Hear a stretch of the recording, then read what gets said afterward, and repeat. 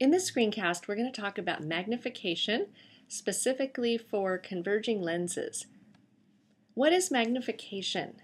The definition of magnification is the ratio of image height to object height. So written as an equation, we have m magnification equals hi over ho, where hi is the image height, ho is the object height. A height is positive if the object or the image is upright. And height is a negative number if the object or image is inverted.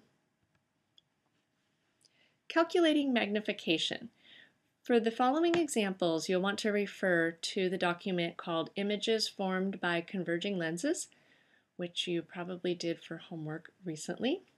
So we're going to start with looking at number 4 on the back side of that sheet. What is the magnification in number 4? Well, listing our variables, we have object height of 3, so it's positive because it's upright. Image height of negative 3, negative because it's upside down or inverted. And we want to calculate the magnification. Substituting into the equation, which is really the same as the definition, we have magnification equals negative 3 centimeters over positive 3 centimeters, which comes out to be negative 1. What could this mean, a negative 1? The meaning of the magnitude, and the magnitude here is, is 1, 1 means the image is 1 times the size of the object. So the image is the same size as the object. The negative in the magnification means the image is opposite the orientation of the object. So it's inverted because the object was upright. The negative sign means that it got flipped, and so it's inverted. Let's do another example. Take a look at number 1 now on the front side of the page. What is the magnification in number 1?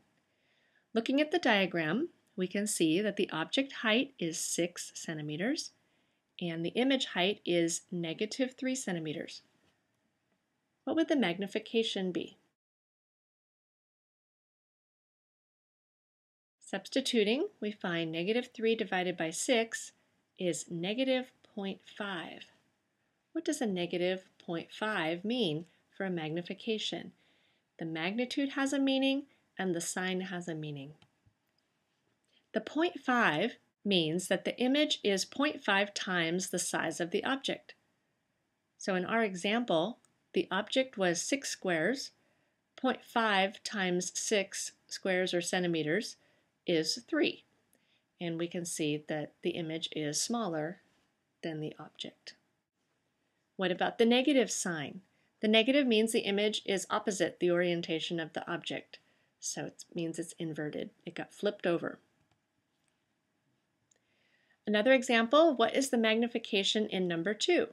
Go ahead and pause the video and calculate the magnification. Solving for m, we find a magnification of negative 1.33. What does it mean? Take a moment and think about what does a magnification of 1.33 tell you? What does the negative sign tell you? 1.33 means the image is 1.33 times the size of the object, so the image is bigger than the object. The negative means the image is opposite the orientation of the object, so it's inverted. And one more example, what is the magnification in question number three? Now this is a virtual image, so we might expect it to be a little bit different. The object height is positive 6, it's upright. The image height is positive 12, it is also upright, right here. And calculating the magnification, we find that we get a magnification of positive 2. A magnification of positive 2, what does it mean? The 2 means the image is 2 times the size of the object, so the image is bigger than the object. The positive means the image has the same orientation as the object, so it's upright. Can magnification be calculated from image and object distances? So far, we've calculated the magnification from image and object heights, but it would be handy to be able to find magnification from image and object distances because sometimes we know those distances, but we don't know the heights. Well, so far, we found in number one a magnification of negative 0.5. So here it is half the size, the image is half the size of the object and it's inverted.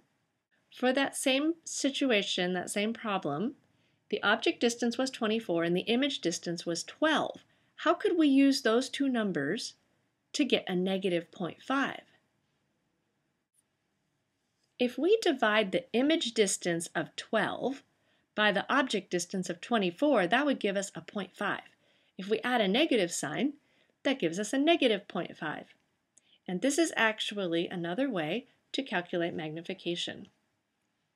So we have two equations for magnification, image height over object height, or the negative of the image distance divided by the object distance. And you have to remember when di and do are positive and negative.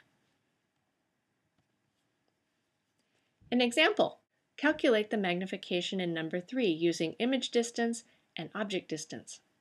So the object distance is positive 3 the image distance is negative 6. So remember, image distance is negative when it's on the same side as the object, to the left of the lens. And that's going to happen when you have virtual images.